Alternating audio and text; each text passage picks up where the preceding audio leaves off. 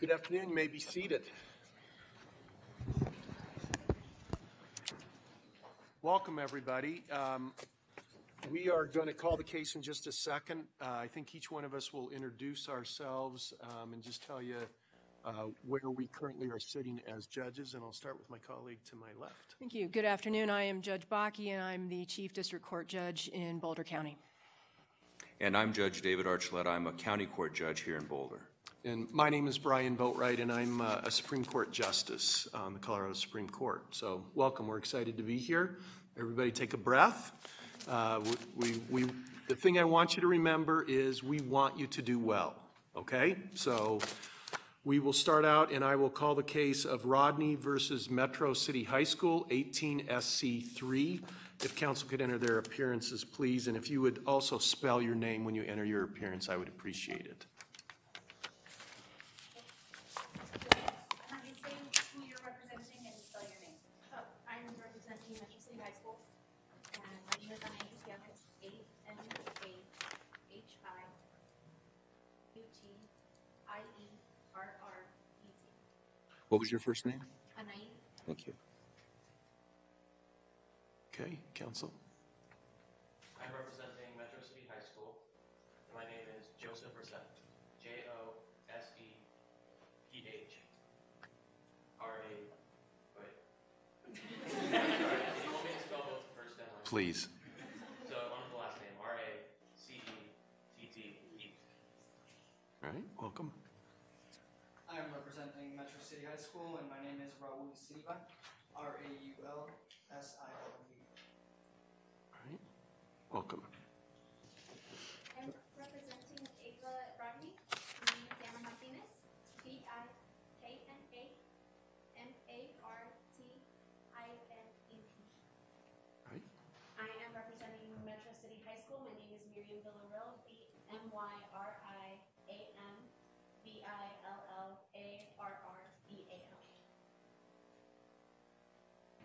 all right, welcome. My name is Ruby Metro City High School. It's G R I F F E E, last name N A P P S.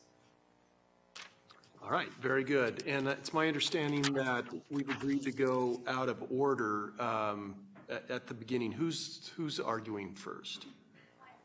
You will, all right. Council, uh, if you will uh, begin your argument. Um, Are you going to be doing all of the argument? Or are you going to be dividing with your co-counsel? I- Are we doing I each think- one, Eight each one eight minutes? Yeah. Okay, very good, sorry. All right. Do me a favor, counsel, state your name one more time for the record, please. Anahí Gutierrez. Gutier- Gutierrez. Mm-hmm. Okay, very good. All right, you may begin. May it please the court. My name is Anahí Gutierrez, and I represent the respondent, Metro City High School, in this case. The issue before the court today is whether the First and Fourteenth Amendment were violated in its treatment of Ms. Rodney. The court should affirm the decision of the lower courts. Your Honor should find Metro City High School in favor for the following reasons. Metro City High School did not violate Ms. Rodney's First Amendment right due to their, with, with their disciplinary actions. The First Amendment clearly outlines the freedom of speech and expression. Ms. Rodney violated a dress code, and this dress code was implicated because she was being bullied and targeted by other individuals at the school. The dress code that she violated caused not only, because she violated the dress code, she was suspended, and this was because she was putting herself in danger and was disrupting the environment around her. Ms. Gutierrez, can I stop you there? Let me ask you a question. At the end of the day, we have to come up with a rule, basically, that applies to all kinds of cases. It's called a holding. What would you like our holding to be? That schools are able to regulate, uh, regulate expression when it materially and substantially interferes with the uh, requirements of the school's operation. And this is the same rule that is the court from the Tinker versus Des Moines case. What did, what did that case say, Tinker? What does that stand for? The facts of the state, of the, The rule that comes from Tinker? the, the exact rule is that schools are able to regulate um, expression when it materially and substantially interferes with the discipline of the requirements to operate the school. In the case at hand, the policy that was implicated was not targeting Ms. Rodney at all.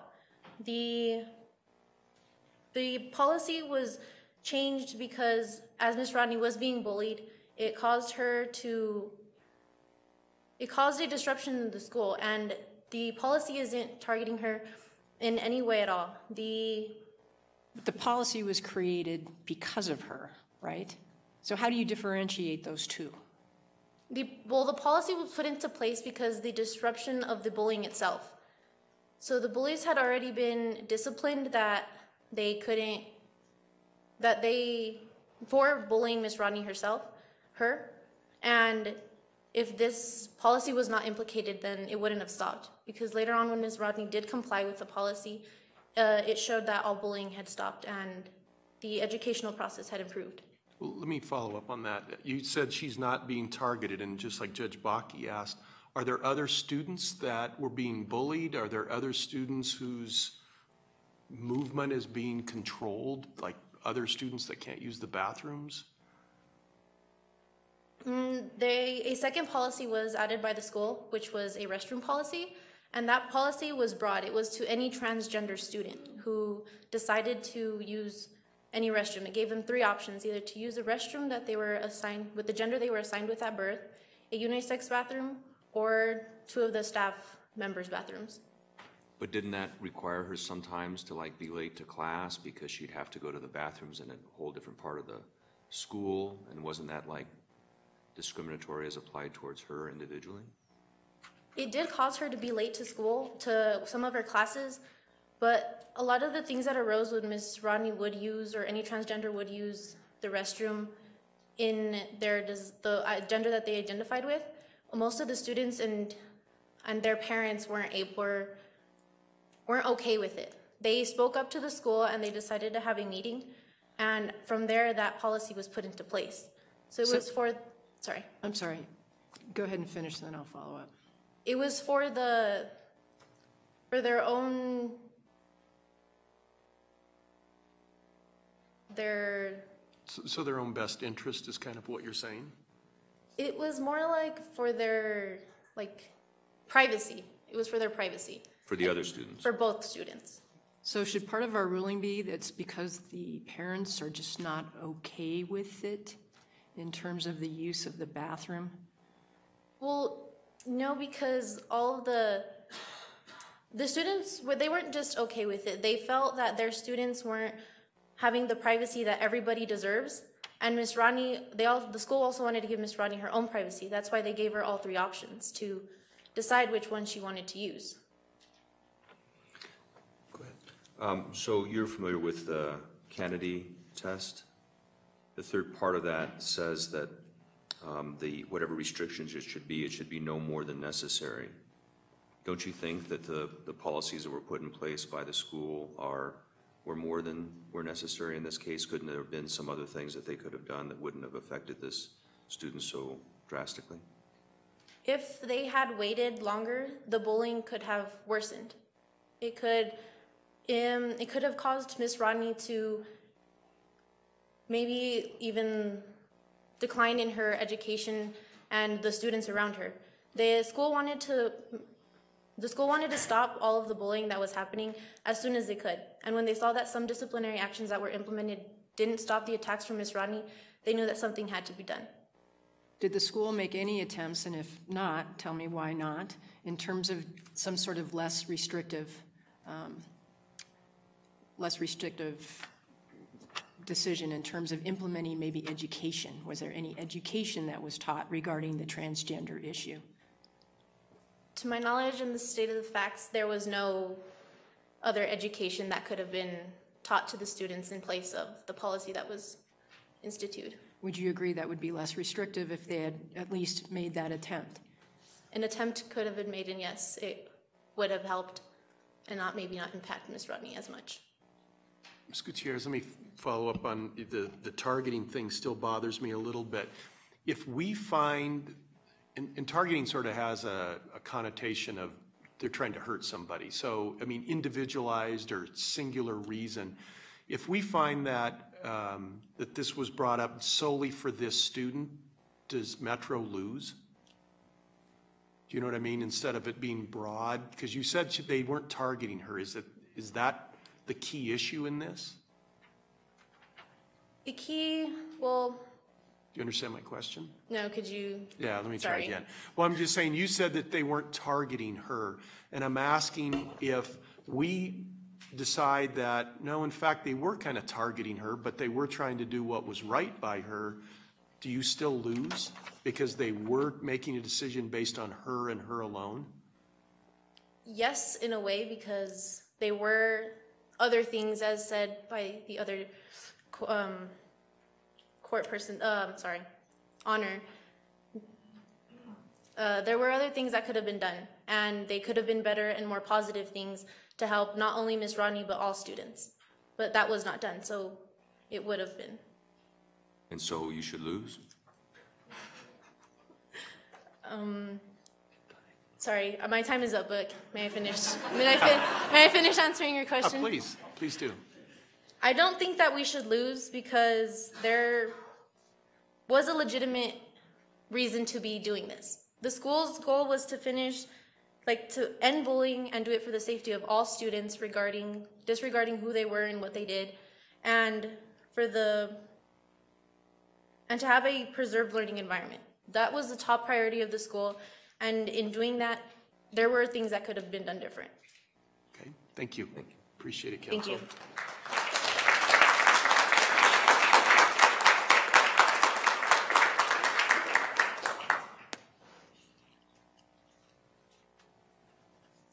All right, um, who's next then? Okay, Council, if you'll come up and introduce yourself again and state your name for the record, please.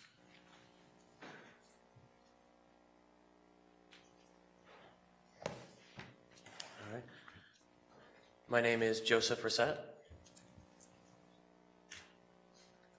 And who do you, tell us, remind me again who you represent. I will be representing Metro City High School. All right, welcome. You may begin. May it please the court, my name is Joseph Racette, and I represent the defendant, or the respondent, Metro City High School. Your Honors, Metro City High School did not violate Ava's First and Fourteenth Amendment rights, and I ask that you find in favor of the respondent for the following reasons.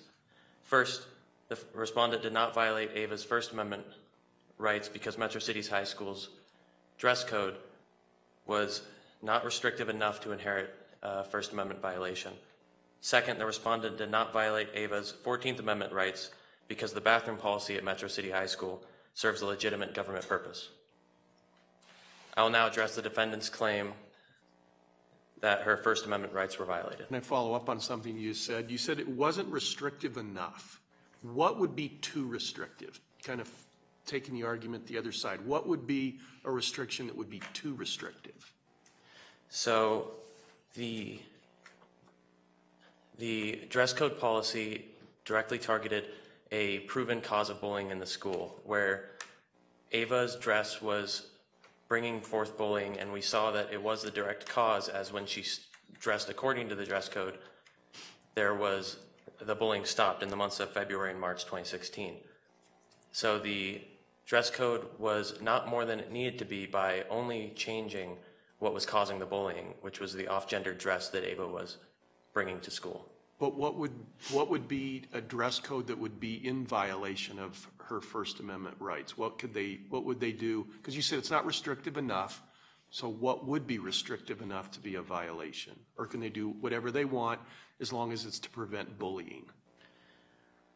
Your Honor, I would say that restricting uh, more specifically towards the student that was violating the dress code, such as saying that a transgender student has to dress a certain way, or consistently restricting dress code based on that, uh, that bias would be a violation. But in this case, they only direct clothing for men and women, which was already a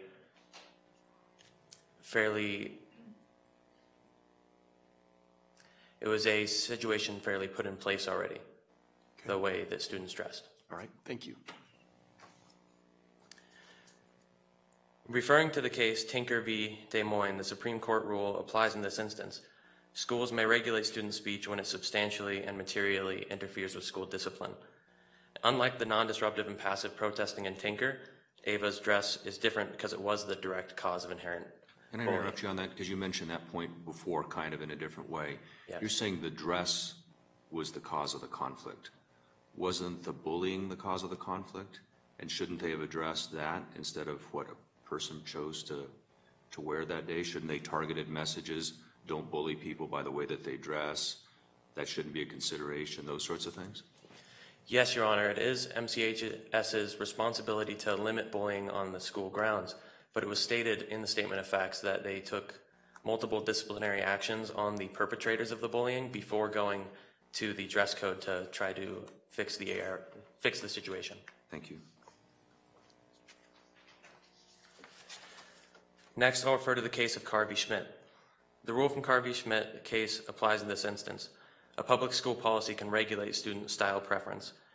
And here, Ava's wearing of dresses is similar to the hair length in the Karr case, in that is a style, style choice and the school can regulate it. Can I stop you there? Because one of the things in Karr that struck me was uh, there was a conclusion that that was simply a matter of personal taste. In this case, are you saying that um, uh, Ava's situation is a matter of personal taste? Yes, Your Honor. Okay, why?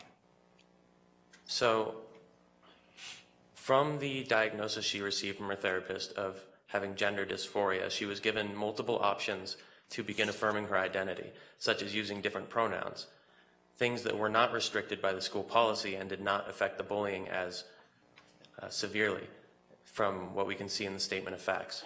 So her choice to wear the dress was only one of many options to affirm her identity and therefore just a style choice that does not in, inherit the need to break school dress code. But doesn't that sort of implicate the fact that she could control this? You know, for example, if you had somebody that had what's called Tourette's, where they spontaneously utter things, that's like saying just control that, isn't it? I mean, because they, they diagnosed it. It's not just a question of hairstyle, it's something that they felt they, she needed to do.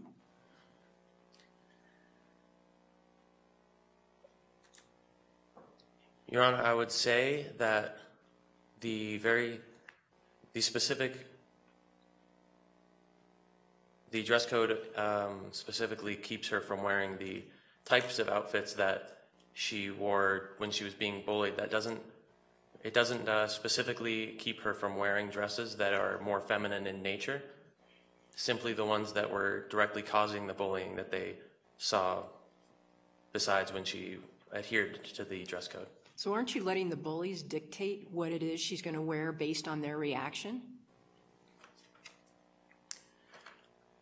I believe that after the disciplinary action failed to reduce levels of bullying in the school, the need to change dress code was more of a general reaction to reduce violence and bullying on on this in the school without directly punishing any students. So it, it's a, the, re, the response from the school was the length of the dress, is that right? Or how much was it, how much skin was exposed, is that, No, Your Honor, I don't believe it was. How would you The- describe it? The statement of facts presented the dress code as specifying the dress that either men or women can wear. But it wasn't based on any kind of exposure or anything like that? Not from what was in the statement of facts. All right.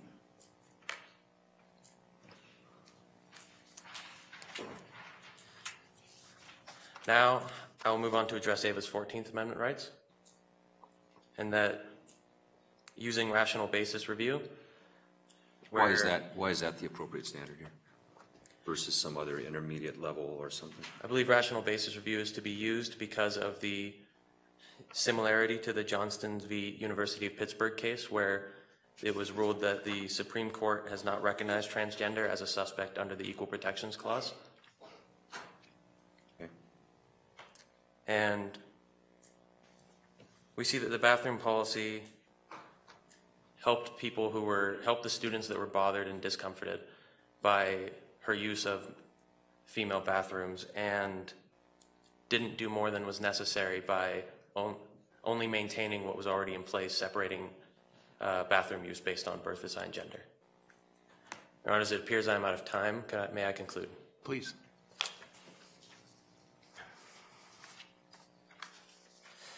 Since limiting Ava's dress served the purpose of student safety and removal of school disruption, and the bathroom policy maintains student comfort and privacy with the most lenient enforcement possible, MCHS respectfully requests that this court find it did not violate Ava's Rodney's First and Fourteenth Amendment rights.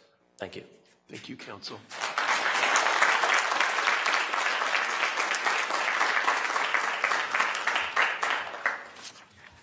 I believe we were going to hear from the petitioner. Ready to go? All right. Come up, introduce yourself, and tell us what your name is again.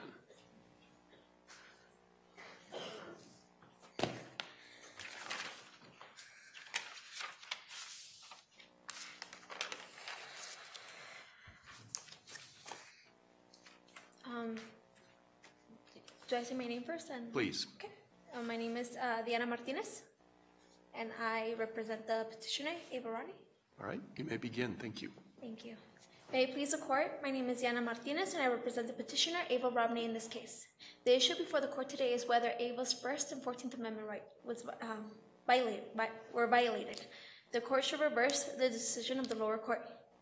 The court should find in favor of the petitioner for two reasons. First, Ava is expressing her identity by using makeup and wearing dresses. And so her First Amendment rights were violated.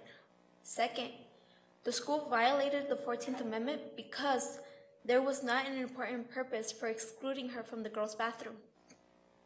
As to my first point, Ava was diagnosed with gender dysphoria, and so her gender ident- identification is who she is.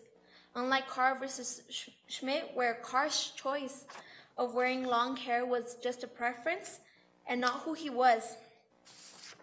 Ava wearing dresses, makeup, and painting her nails is who she is. Can I, can I ask you, there, let me stop you there, Ms. Martinez. How do we come up with a rule of who she is? How, why is that different than length of hair? Because Ava was diagnosed with gender dysphoria, it's like how you said, like she can't control it. That is who she is. As um, with Karr, he could control it, and um, it was just a preference. It was something that he liked, unlike um, Ava. Do you, do you think that because there was a diagnosis, that that means that Ava could wear whatever she wanted to school? Well, it's not whatever she wanted. It's what she was expressing herself with, what she identified with, which was um, women clothing and um, the makeup and the painting her nails. It was what she was expressing herself to be a female. How, how should it, a school whose, like, number one rule is to keep the children safe, how should they weigh her need or her right to express who she is by how she dresses versus keeping kids safe and, and preventing bullying? Well, as how I see it is that they could teach the kids to know that that is something the, um, that it is okay to be different. That it, um, because seeing that they suspended her and that instead, like they were excluding her from the bathroom, shows that it is it isn't right to be different. That it isn't okay. And so, showing this, teaching the kids, because that that is what the school needs instead of like ex, um, suspending her or exposing her they could teach like their main job is to teach the kids that it is all right, all right to be transgender it is okay to be different So how do we write a ruling that stands legally regarding someone's right to be different in this case? i'm sorry can you rephrase it How do we write a ruling in support of someone's right to be different in this case? That's legally sound.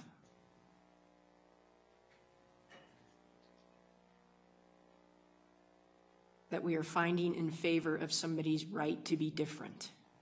Yeah well because that is her first amendment like her first amendment doesn't go away when she enters school like that is the law um, for her to still have the right of freedom of speech and the right to express herself like it's constitutional Well, let me ask, you, you state the First Amendment trumps all. Are there any limits on that? Could she wear whatever she wanted? Could she come to school in very risque clothing? Or, I mean, what would be the limit on that principle, right? I mean, even First Amendment rights, you can't, there's certain things you still can't say. So what would be the limiting principle on that that we would say?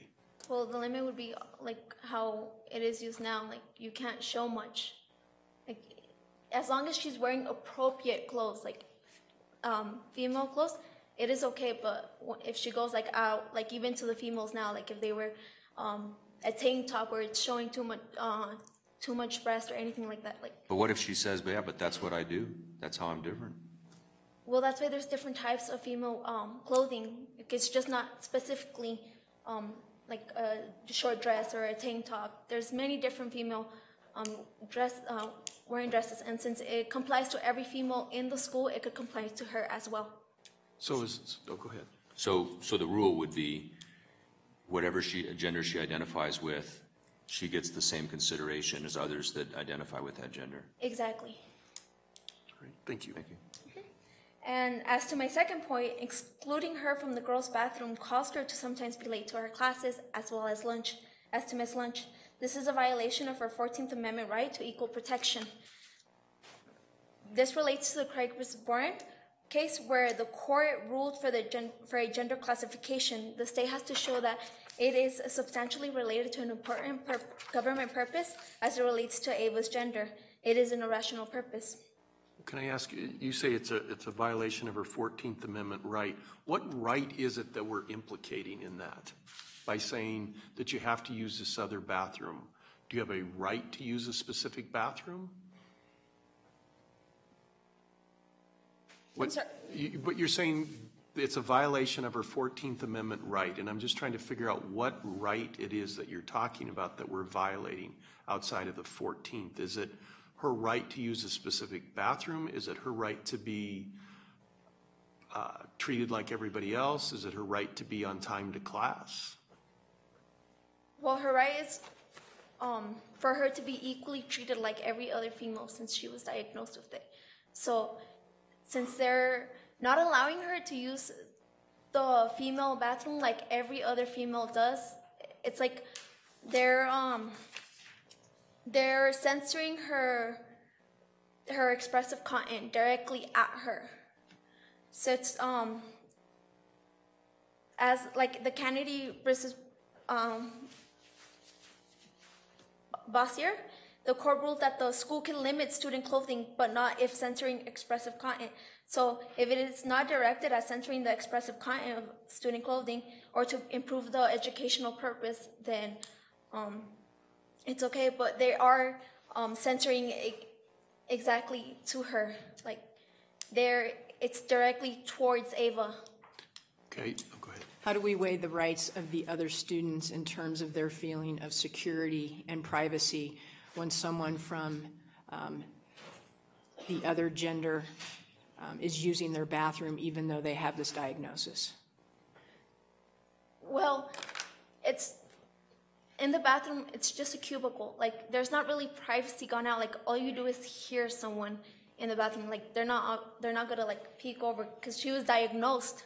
Like it's not it's not like she's lying or anything. It's it's something that was diagnosed with her. So she is a female, S and since it's just cubicles, then it doesn't really. Um, Your time's up, but you can finish your thought and give us your conclusion. okay, I'm sorry. You- I said finish your, you can finish your thought and then give us your conclusion. So since it's like a cubicle, it's not it's not really much of like the privacy because they're all hidden from each other. It's just you could hear each other. Um, for my conclusion, for the above reasons, we respectfully request the court to reverse the judgment of, of the lower courts. Thank you for your time. Thank you, Thank Ms. Martinez.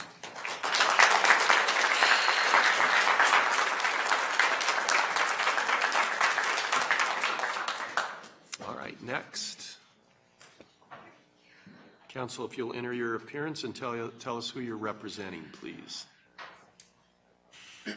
My name is Raul Silva, and I represent Metro City High School. All right, welcome. You may begin. Good afternoon, Your Honors. May it please the court, my name is Raul Silva and I represent Metro City High School, the respondent in this case. The issue before the court today is in regards to whether the school's dress code and bathroom policies are constitutional and therefore do not violate the First and Fourteenth Amendment rights of Ava Rodney. The court should uphold the decision of the lower court. Would the court like a brief recitation of the facts? Sure. This is a case about former student Ava Rodney claiming to be discriminated against because of her gender. At the time of Ava's introduction into this institution, many students and parents claimed that they felt discomfort with Ava using women's bathrooms. Apart from this, bullying on behalf of other students had been occurring to Ava due to her dress wear, but was otherwise unreported by her. As a result of this discomfort and bullying, when caused potential distractions in the classroom, the high school established a dress code and bathroom policy that made Ava use a separate bathroom to avoid bullying, as well as general discomfort within this institution. Mr. Silva, let me stop you there. What, uh,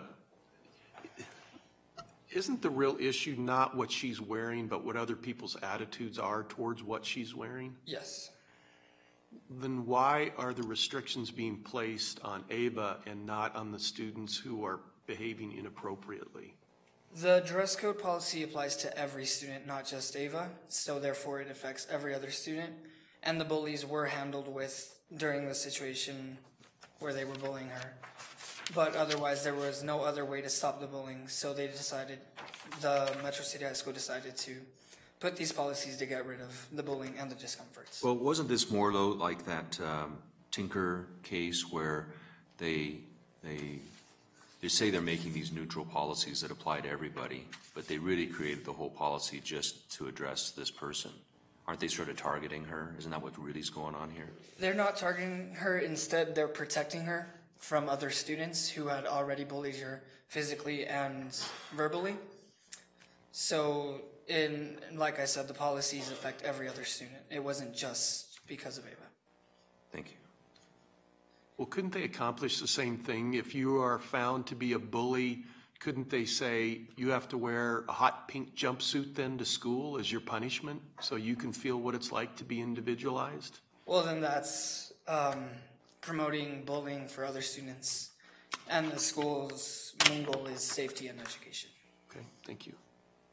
The court should find in favor of Metro City High School for avoiding potential distractions that would otherwise affect students' learning, avoiding bullying for students such as Ava, and for eliminating discomfort within the school, specifically in the bathrooms. Did you say affect learning? Yes. All right, so how did this affect the learning? So since Ava was being bullied, she would it can be inferred that she didn't want to go to class because she was being hurt. And It it could be inferred? yes. And then distractions could be caused or have been caused because of Ava's dress wear. So are we making a ruling based on inferences? No. Explain that to me. Uh, the inference part was just for the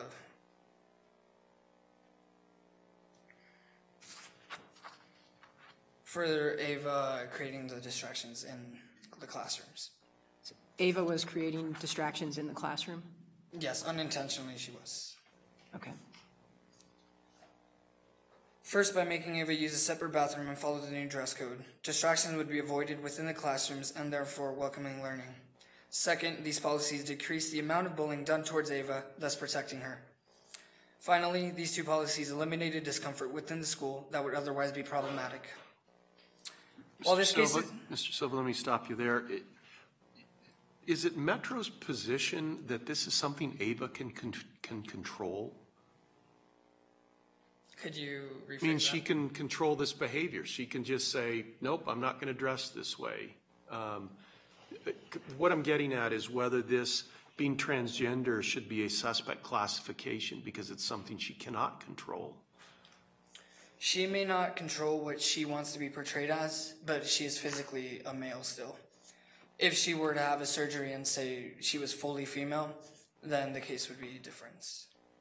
So is that part of the rule we should make, is that if you want to be considered a transgender, that you have to have a sex change? No. What should it be then? The rule would be a student must use different bathrooms and dress according to the dress policy based on their birth, their gender at birth. And why is that?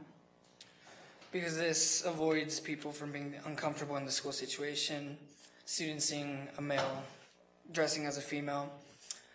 Uh, like in Ava's case, a male, um, natural born male using a girl, a women's restroom. Well, you heard opposing counsel who came before you talk about the fact that actually within that bathroom, there are stalls. So there really is no opportunity unless someone is doing it on purpose, which would be inappropriate regardless of the sex using the bathroom, to look, right? So why is there an issue about her using the women's bathroom if it's completely secure and private, as opposing counsel said? Well, before we implemented this, the policies, we didn't know that our that Ava Rodney had gender dysmorphia. So we we obviously thought it was she was doing it on purpose. And so is part of our rule going to be that we require that there be a diagnosis before anyone would be allotted? um, Yes, to avoid any unnecessary accidents. Any necessary what? Accidents Accident. or Can I- incidents. Can I follow up on that? Does that not discriminate against people who don't have access to mental health services? In a way, it is, but our case isn't here about gender. We're trying to protect her from other students. Because Doesn't that- safety and education is above all. Are you familiar with HIPAA No. and the privacy of medical records? Isn't that requiring someone to disclose their medical records or medical conditions um, if they're going to use a different bathroom?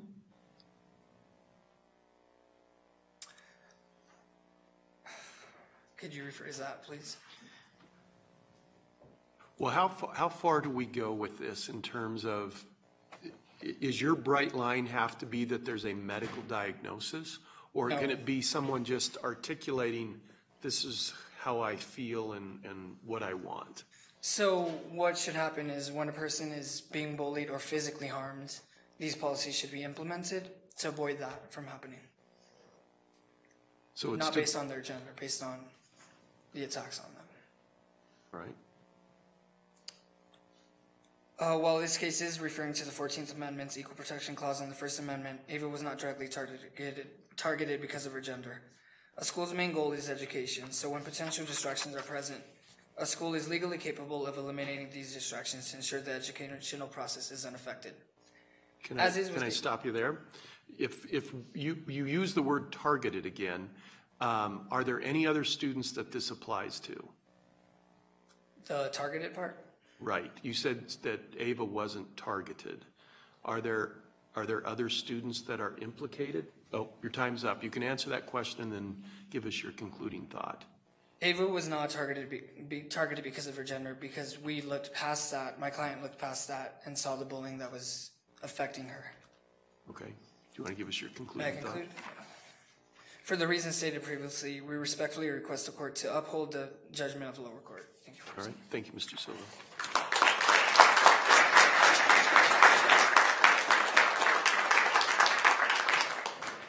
Next, counsel. Again, state your name and tell us who you represent, please. Okay. My name is Griffey Maps, and I represent the respondent in this case, Metro City High School. All right, welcome, Mr. Maps. Thank you. You may begin. Good afternoon, Your Honors. May it please the court. My name is Griffey Maps, and I represent the respondent in this case, Metro City High School. The issue before the court today is whether Metro City High School violated Ava Rodney's First Amendment right to freedom of expression and her 14th Amendment right to equal protection. The court should affirm the decision of the lower court, and on behalf of Metro City High School, respectfully request that the court find in favor of the respondent. Would the court like a brief recitation of the facts? I, I don't think it's necessary for the facts, but I want to ask if, if we're talking about equal protection, and if you want to get back to that, you can in a minute if you think it's important.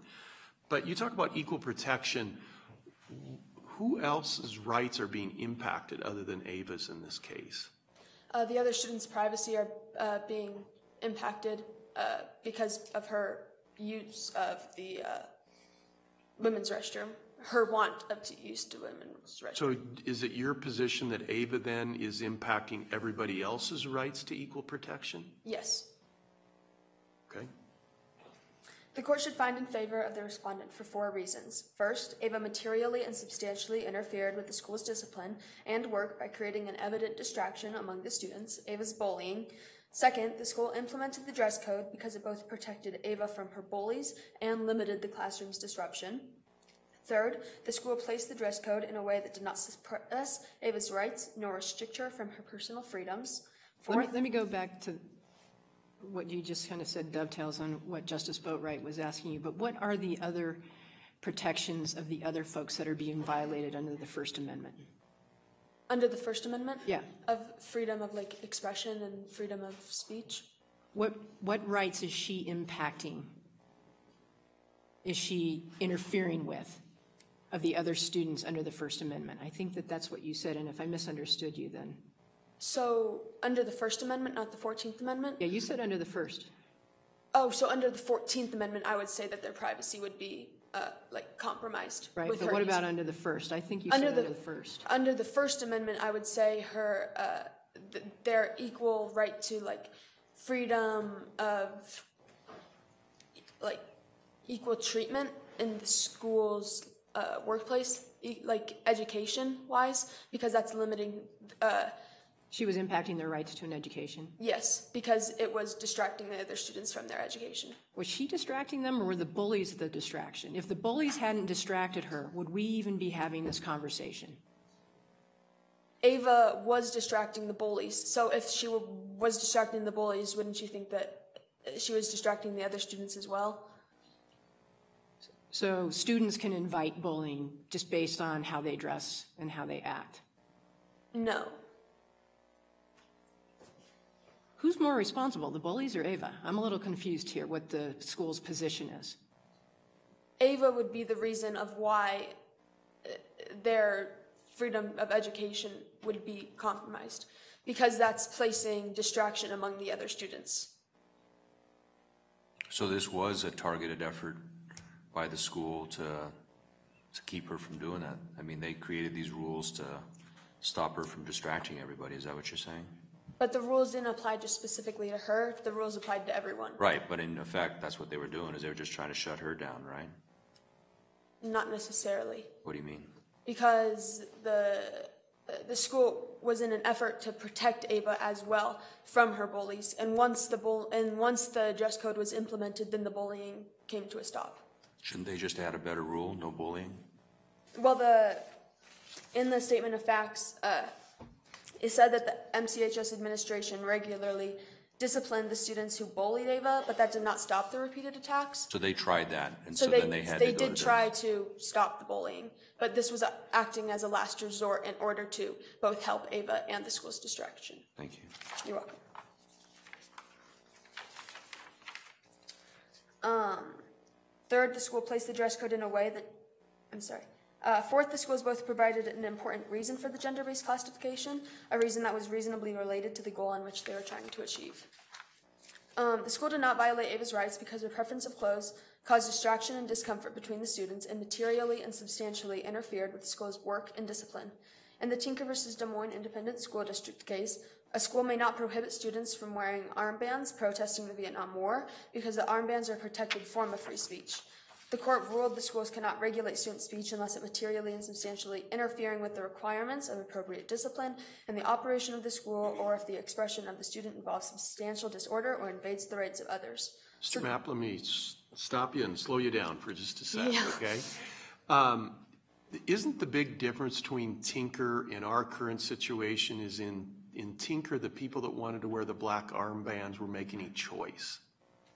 And Ava, in this case, is not making a choice. Ava is making a choice because her diagnosis of gender dysphoria came after the school implemented the dress code. So the school was not aware that she was diagnosed with their uh, with gender dysphoria. So therefore, it was just a personal preference of hers. Should, should we send it back and tell them to reconsider now that they have this diagnosis?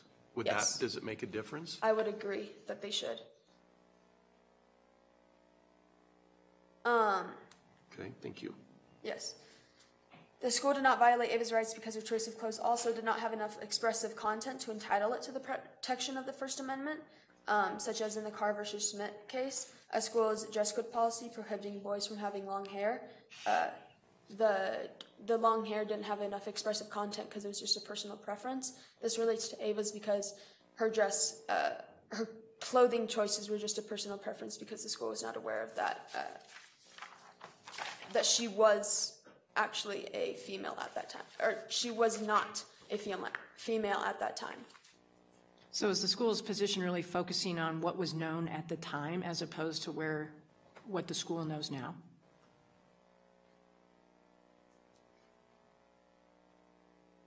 Can you repeat the question? Is your argument all based on what was known at the time? That's all that's recorded in the statement of facts. Mm-hmm. Well, let me ask you this. It, it sounds like you're saying, now that we know this, we're willing to relook at this. I guess, should we just dismiss this as moot and say, go back and reconsider and see if you guys can reach an agreement now? No, because the, it, you could still, you should still take an account of what happened from then to apply to this court. But you're saying the school district's willing to relook at its policy now that we have this diagnosis?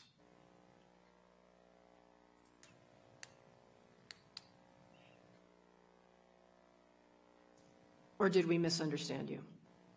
Well, the diagnosis was, it came after the school implemented the dress code Right. policy. So they wouldn't, they wouldn't necessarily be violating anyways, is what I'm trying to say. So does the diagnosis play any role in this? Not in the case of the, um, the viol, uh, I see that my time is up. Can I briefly Go ahead and finish that sentence. and then conclude? Okay, You bet. Thank you. Uh, Can you repeat the question? I just forgot while I was does the saying that. should the diagnosis play any role in our analysis? Not for the First Amendment, but for the, uh, for the Fourteenth Amendment, it should. Okay. Because And the- explain. I know you ran out of time, just quickly. Okay. Um, so the Fourteenth Amendment, I'm just going to briefly go over the Fourteenth Amendment. Um, the Fourteenth Amendment, uh, it was suppressing the rights of others because of the privacy, and it should be held at a, ra- it, it could be held at a rational or intermediate scrutiny because the school did have an important interest also, which was to benefit the other students and their privacy. Um, um, thank you for your time. Thank you.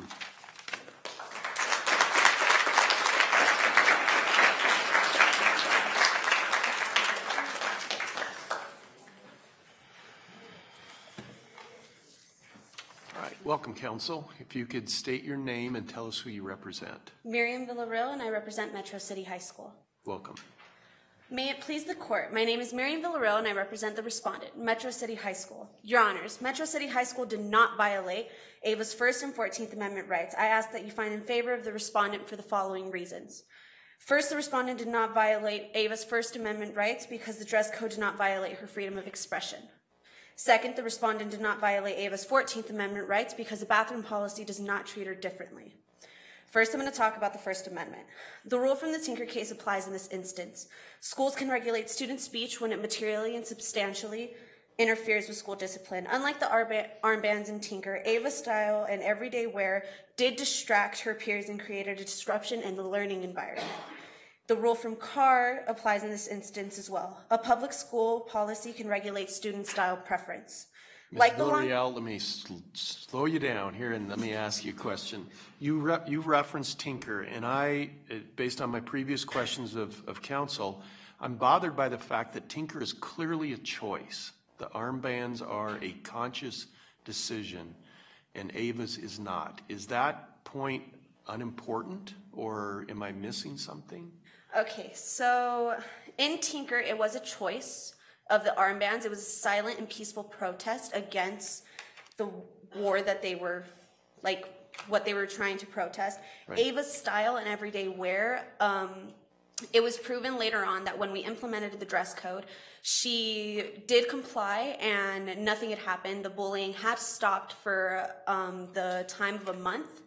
And then she made the choice to come back in a dress after the school had expi- explicitly told her that the dress code was specifically to keep her safe from bullying.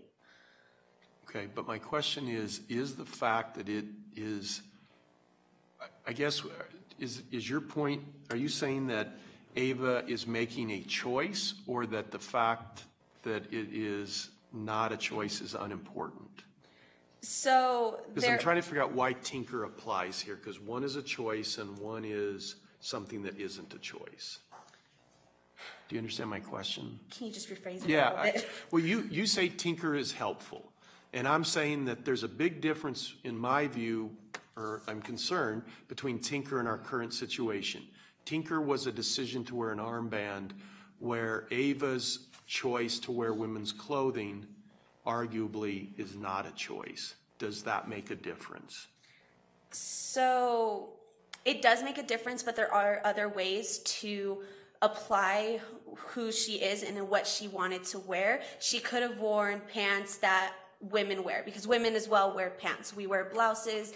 There are other ways that she could have implemented her gender than wearing the dresses, having long hair, and painting her nails. So you're saying it is a choice? It is a choice. Okay. It was not clear from what you said before, but you think it is a choice. Um, and what's your basis for that? that she could wear something else to comply with the school's rules. Okay. Um,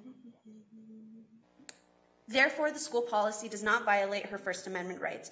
MCHS sent out an email stating the acceptable dress code policies for males and females. And Ava continued to wear the opposite of what was required, and the dress code represents a style preference.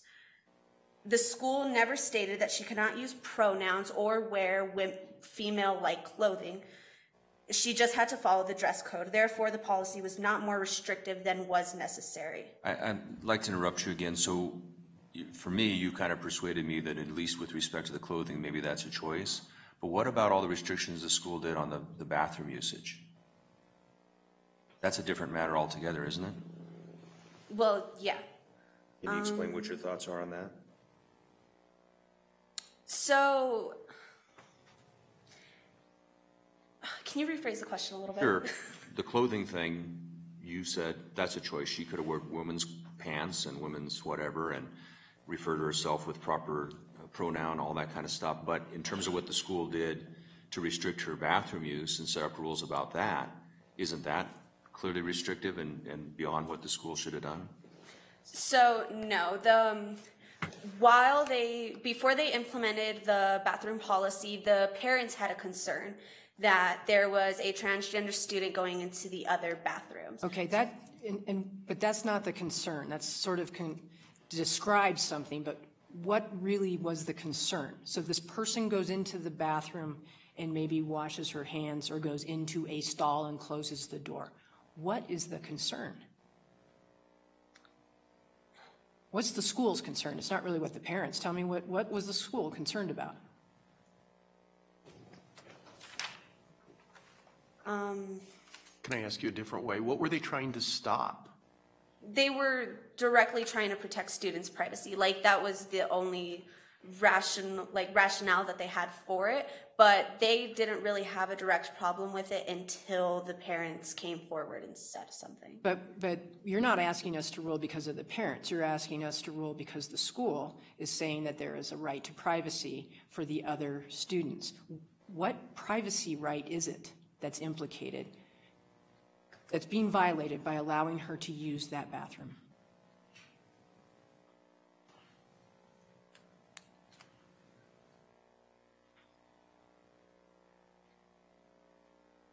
Is it maybe being observed by a student that is not the same gender of birth?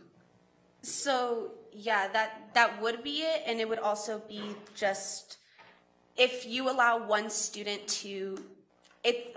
The school has to take into consideration every student in the school. If they allow one student to do something, then they have to allow other students to do that. So in respect of how they have to run their school, that's what they did because they Because felt there's like going to be a whole flock of boys wanting to use the girls' bathroom. for selfish reasons. Yes.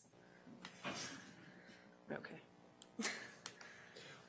What about the stall issue? The fact that, that people can go into these stalls and not be seen? Is that, So it's not necessarily true for boys' restrooms because they have urinals and it's not as private as women's restrooms. How do you know that? In a, s- it, I mean, stories you hear. I mean, you see it on TV. That's kind of it. I mean, it's just kind of like No, we're good. Okay, cool. Um, well, Let me, let me get you here. What, what rule do you want us to write? What's our holding? Our holding would be.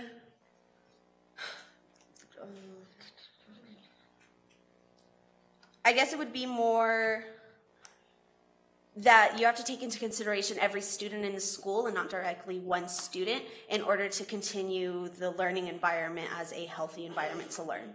Because that is the government interest is learning and not necessarily, um, no, never mind, it's just learning. And that's where I ended my sentence. Okay. All right, why don't you, Can I conclude? please, yep. In conclusion, since the dress code did not violate her First Amendment right to freedom of expression and the bathroom policy did not violate her 14th Amendment right to equal protection because they did not treat her differently, MCHS respectfully requests that the court find that it did not violate Ava's First and 14th Amendment rights. Thank you, Your Honors. Thank you.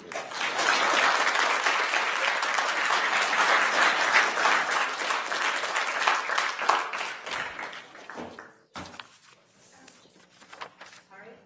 Do you want to confer right here briefly? and Yep. then give feedback? Yep, we will do that. We will be in recess for about five minutes.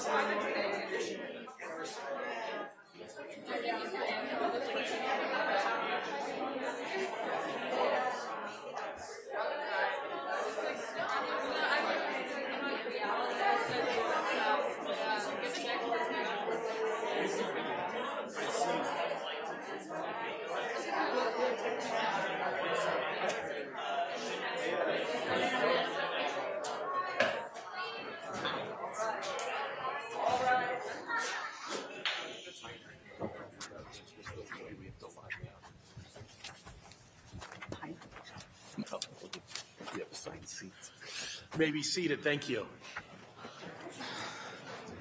We are missing someone. All right. There are no bathroom breaks here. That's- Which bathroom? Yeah, which bathroom did she use?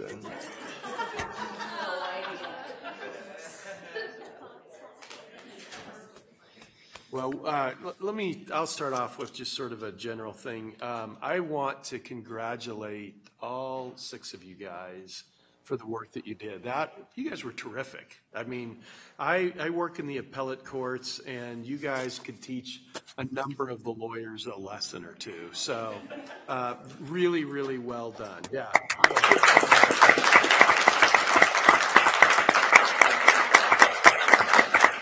So we're going to, just so you know, we're going to start off with, uh, each one of us is going to kind of give a little bit of a critique and some suggestions, and then we'll announce the best oralist. So don't sit there and think, did I win? Did I win? Did I win? As we go through this.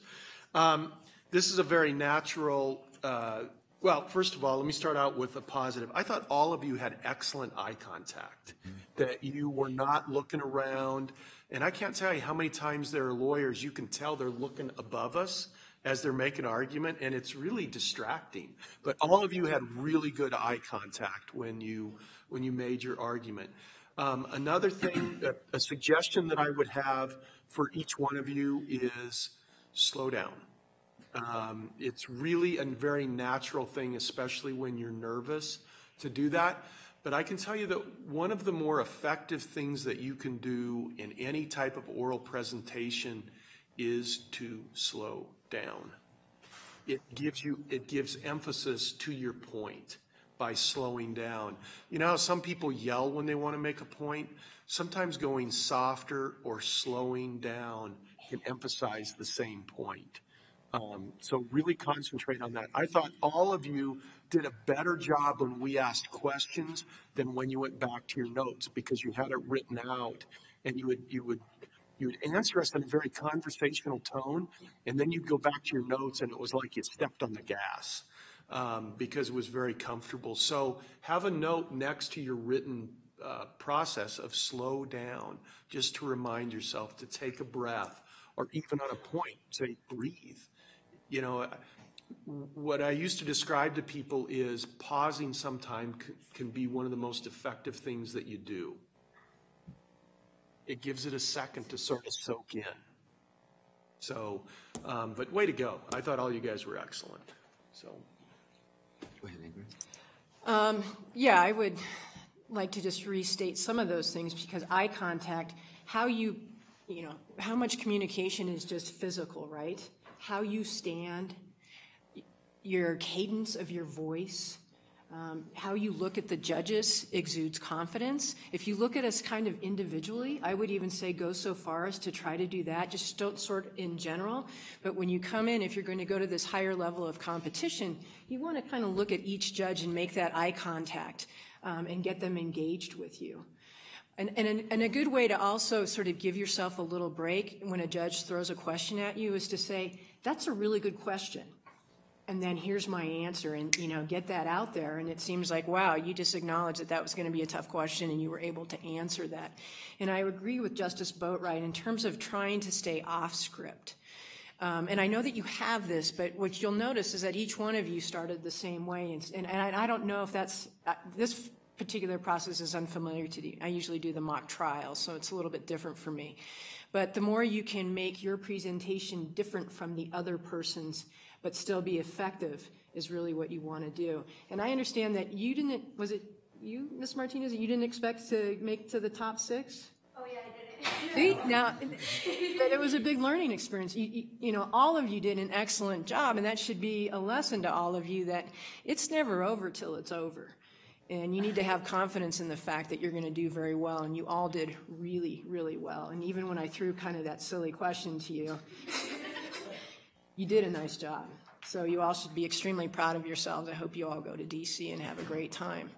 Um, so thank you for letting us come and judge.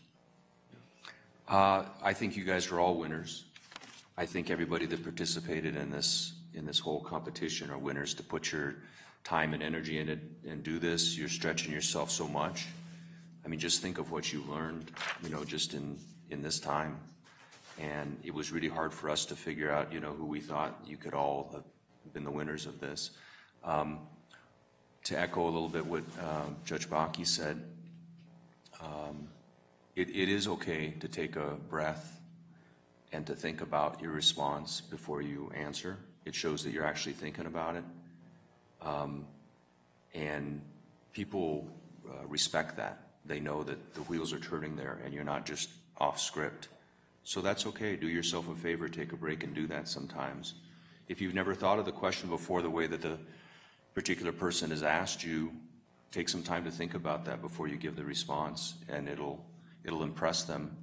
And you know, judges are human beings too, and all these judges that'll be judging the competition in in Washington, if you're able to go there, they're going to look for that connection. You know, so if you make eye contact, um, if you show that you're really thoughtful about it, and if you have mastery of the subject matter, that's all going to help because then you're going to feel comfortable. You're going to stand there and you're going to feel ready, like, well, I've thought about that already, and if they ask me that, I'm going to do this, or I haven't thought about that, and and give me a minute to think about it, and I'll give you a good response. That's all very effective, persuasive um, advocacy, and so I'd encourage you to do that. But you guys are all winners already. You did a great job, and I was impressed by how little you were distracted by our questions. I mean, sometimes it would shut you down for a while, but you'd usually relax then after that, come back and answer the question appropriately, and that's a great skill. I mean, that'll serve you in life, whether you become lawyers or not, or whatever you do in your life. So, good job, everybody. Yeah. Um, final thing I want to say, if, if you guys do have the opportunity to go on, it- it's something I said at the very beginning, and I don't think people think about this. But the people who are judging this want you to do really well. It, it's, it's more enjoyable if you're doing well, it's easier to ask questions, and they wouldn't do it if they don't care about you. So remember that even though people are doing the judging, they want you to do well. So they're cheering for you, you know, when you go up there and do that. And I think it, I, I- never really had thought about that until I got on this side of, of the bench. You know, I want a really well-tried case. I want a really well-argued case. And, you know, since you guys are high school students, they really want you to do well. They want you to be comfortable and they, they want you to knock their socks off. So just keep that in mind. With that said, um, as, as uh, Judge Archuleta said, everybody here, we, we, at one point, we voted for all of you in this, um, and, but we had to come up with one person. Um, and so we decided that would be Ms. Villarreal. So congratulations.